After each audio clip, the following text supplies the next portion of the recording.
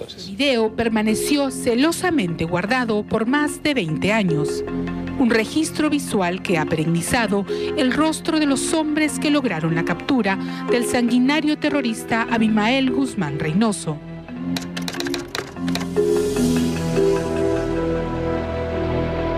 Porque quiere potenciar y dinamizar esta inteligencia que está contribuyendo, que está contribuyendo a que se desarrollen acciones efectivas y eficaces al servicio de nuestra querida patria peruana, con el fin de eliminar el mal que representa el terrorismo. Una oración del padre Loli, capellán de la Policía Nacional, sellaba la inauguración del nuevo local del GEIN. La inédita cinta registra la fecha del 9 de agosto de 1991 con su cabellera característica, el coronel Benedicto Jiménez preside la ceremonia. Se aprecia además al general Antonio Quetimbiral y a Marco Miyashiro.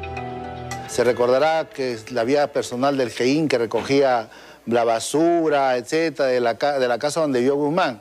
Todo eso lo traían en paquetes y acá se, se abría y acá se lograba analizar, se analizaba y se hacía la comparación y determinábamos quién o quiénes podrían estar dentro de ese ambiente. Ahí determinamos que efectivamente Abimael estaba en ese ambiente porque encontramos muchas cosas, ¿no? Por ejemplo, encontramos los chisguetes eso de psoriasis, que eran las pomadas, encontramos inclusive algunas, algunos manuscritos, que era la letra de Ismael Guzmán,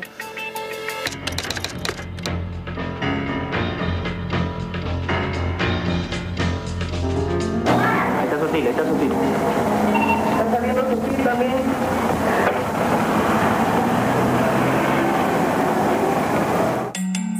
Este seguimiento también pertenece a los archivos del GEIN.